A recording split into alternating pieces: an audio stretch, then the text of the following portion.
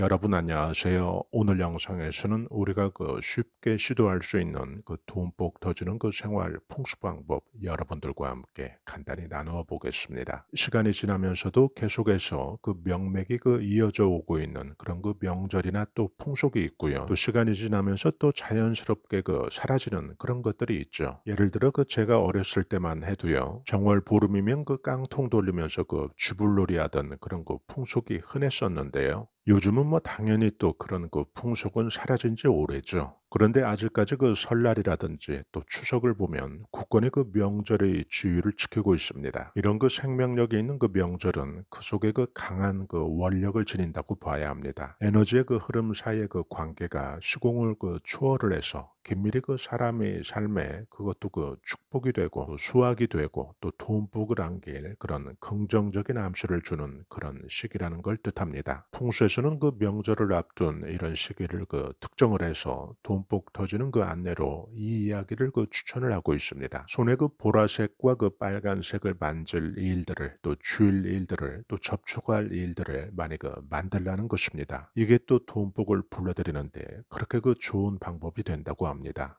우리 손에는 그 목화 투금수라고 하는 그 오행이 모두 부여가 되어 있죠. 그런 그 왼손에 보라색과 그 빨간색 만질 일을 또 우리가 자주 만들어주면 그때 또 돈복을 크게 불러들이는 그런 풍수효과를 얻을 수 있다고 합니다. 여러분들께서 그 다이소에 가실 일이 있다면 천 원에 그 여섯 개가 들어있는 그 주사위를 파는데요. 우리가 그 왼손에 또 이렇게 주사위를 주고 있게 되면 또 숫자가 주는 그 암시가 있어서요. 그 풍수 효과를 크게 거둘 수 있습니다. 숫자처럼 구체화된 그 형상이 돈을 또 직접적으로 크게 그 부른다는 그런 이야기는 풍수에서 그 많이 설명이 되고 있습니다. 여러분들께서 그 명절을 앞둔 이런 시기라든지 또 장거리 그 이동을 해야 될 그런 시기라든지 또 무료하게 또 시간을 보낼 그런 일이 있다면 그런 때는 그 왼손에 붉은색이나 그 보라색 주사위를 손에 꼭 쥐어 보시기 바랍니다. 신기한 게 그 다이소의 그 상품 기획자가 풍수론자는 아닐 텐데요. 우리가 그 돈복 터지는 그 풍수용으로 또 이용하기 그 딱 좋게 면까지 그 둥글게 처리된 그런 제품입니다. 우리가 이용하는 그 물건이 또 아무리 작은 크기라 하더라도 각이 지고 또 거친 그 질감을 우리에게 주게 된다면 그때 그 풍수 효과는 또 약해질 수밖에 없습니다. 그런데 이 주사위는 그 형태까지도 또 풍수에서 그 권하는 우리가 또 풍수 시도를 하기 아주 딱 좋은 그런 형태까지 지녔다는 점입니다. 또한 그 빨간색과 그 보라색을 모두 이용할 수 있으니까요. 이 여섯 개의 그 주사위에 빨간색, 보라색이 모두 들어 있습니다. 그리고 나머지 주사위도요. 예를 들어 색이 그 파란색이라면 이 파란색 주사위는 집의 그 동쪽에 두시기만 해도 좋습니다. 집안 공간에서 그 동쪽은 또 푸른 목기운의 그 상징 구역이기 때문에 집안을 그 번영으로 이끄는 그 암시를 또 풍수효과로 우리가 거둘 수 있습니다. 숫자의 암시가 들어있는 그 주사위 그리고 그 오행이 모두 부여 되어 있는 그 우리 손을 이용한 또 돈복을 크게 그 불러들이는 또 아주 그 쉽고 간단한 그 풍수 방법이니까요. 꼭 해보시기 바랍니다.